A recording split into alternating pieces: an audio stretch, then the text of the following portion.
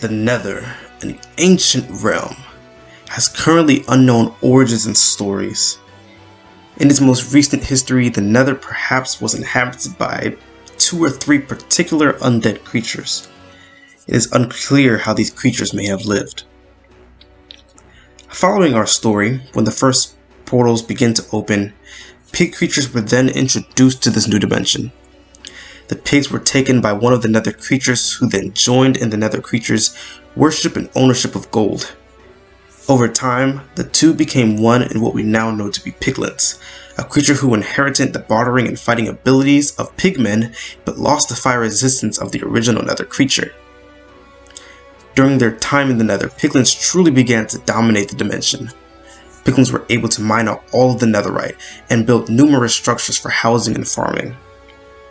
Eventually, the players of the overworld returned with their desire to explore the nether, but would have to prove their worth to the nether's rulers.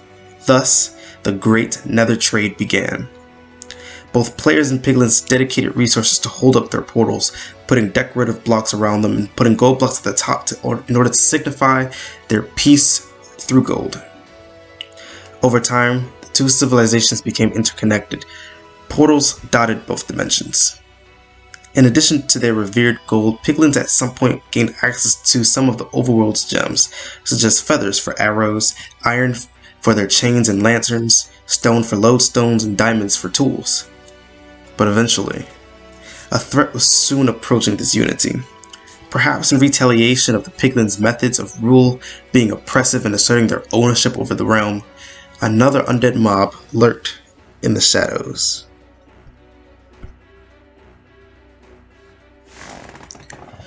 With this shorter story out of the way, I wanted to discuss a couple things. You know, when it comes to piglins, I have been doing a lot of thinking, um, and I honestly think that the original creatures of the Nether uh, did indeed breed with pigmen of the overworld once they were brought over, as we explained in some of our other stories, um, and created piglins. Um, and I think it makes more sense to think that these original creatures may have been undead themselves, um, given that when piglins and hoglins go out of the dimension, they turn, you know, half undead. They're they're zombified, um, which is interesting. And I, I can't really see why that would be the case simply by mixing interdimensional mobs, even if the uh, the offspring came out incorrectly, even if it's like an incorrect breeding. Um, being, it being undead is, is stands out to me. So I really think that you know that would be the case um, if you know two mobs are mixed, um, and one is undead and one is not, and then they would have this kind of half breed. And of course, I think the idea that piglins are this half breed uh, is supported by the idea that you know, as we said in the last video, piglins don't really belong in any dimension. Um, they can't don't really belong, in the nether because unlike other nether mobs, they don't have fire resistance or lava resistance, which is you know strange. That neither them or hoglins have that kind of resistance. Um, and they don't really exist in any other dimension because they turn zombified when they leave the nether. So they're they really seem like they're in this weird place, and I think that would come that would hap that would occur if you know there's this kind of interdimensional mixing between two mobs. Um, and I think what's what's special about their interdimensional mixing is the fact that one mob would be undead. Because I think that you know a mob like uh, magma cubes may also be a result of an interdimensional mix, but they don't really seem to have any issues uh, between dimensions or whatever the case may be. Now, you know, it could just be, you know, hey, between two different um, interactions, one of the offspring gained fire resistance and the other one didn't. That's just kind of how it works. Uh, but you know, I think the one thing that really separates the the piglins would be the case that um, their Nether predecessor would also would, is also undead, and I think that could allow um, a lot more error in piglins. Now, when I think uh, thinking about you know the next episode, the very next episode will be about um, you know the wither coming into existence, which really is you know kind of what we've been building up to. Uh, the first three episodes have been about pre-wither times or pre-beginning times, you know, because the existence of the wither is like noted as the beginning.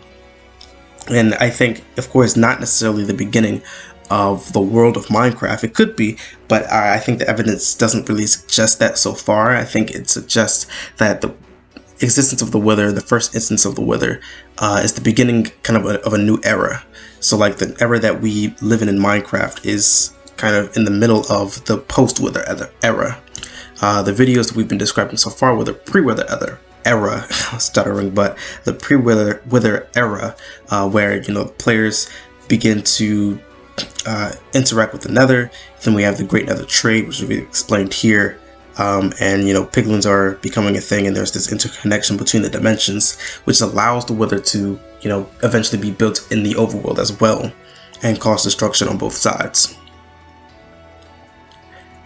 um, and I think of course we'll get to more details when it comes to that uh, I know when it comes to kind of the pre-wither nether we really don't have much uh, since the nether doesn't have as many mob interactions or any structures that we can really pull evidence from, like the overworld does, so that we can really look into uh, what the Nether was like before the first portals began to open. You know, we, we really, it's there's really nothing there. Really, the entire Nether, the Nether's history really kind of begins with um, Piglins and the Great Nether Trade. There's really not much to go off of before then. It's a little bit more speculative. Um, and hopefully we find something that gives us more information um, in the future. But uh, right now, this is it is really kind of like that second-hand theory, that second level theory, where it's like we're kind of using our theory to build a second theory, and that's kind of where the the pre-wither nether kind of stands right now. So I guess with that being said, I don't really want to uh, talk too much about this, and I'll save most of the talking for the episode, uh, specifically when the Wither comes and how that might play out. Um, but yeah, with that being said, I think everything here kind of makes sense. I think the idea that um, the Great Nether trade happened is rather reasonable, given how many uh, overworld items exist in the Nether, like uh, feathers for their arrows since there are no natural chickens in the nether. Um, I mean, the iron they use for their chains, the stone for their lodestones, all the diamond tools and armor that you can find in their chests. Um, it, it, really suggests a lot of trade.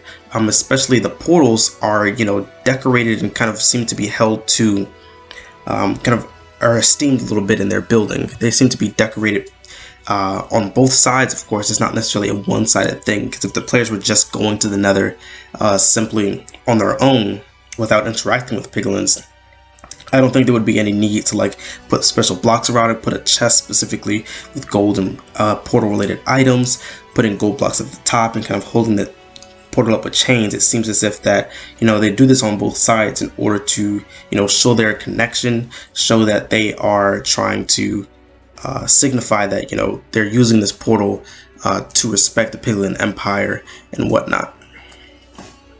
Um, and I think you know this kind of relates to the Piglin personality, which you know may have been their downfall. This kind of oppressive, owning everything, war-like personality um, that perhaps the Wither skeleton simply did not like, which led uh, which led to the creation of the Wither.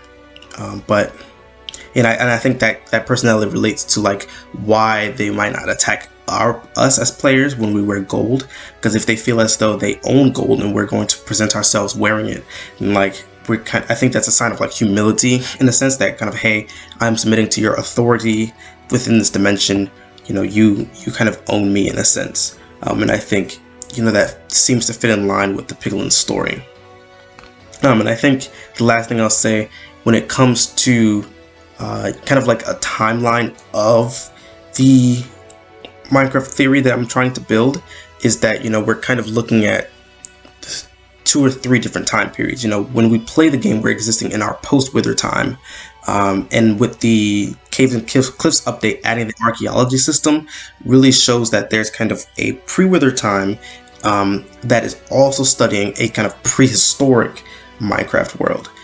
There's like, there's abandoned sections uh, that is trying to study an older section, which, you know, that's very interesting that that would be the case, that there's two unpresent histories in Minecraft where one is studying the other, and now we come into the game and study um, them both. which is very interesting. And I think that really supports the kind of way I'm building the story, um, where there's although we haven't covered um, like prehistoric Minecraft, uh, given that there's very, very scarce information related to that.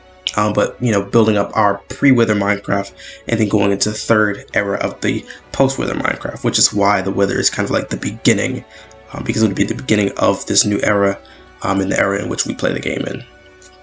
And so I find that very interesting, um, and I'm very excited to get into the next episode, and hopefully the Cave and Cliffs update gives us more information to work with. Uh, but with that being said, don't be a Fortnite fool, Hytale hypocrite, or Roblox reject. Always be an amazing Minecraft master. Stay blocky.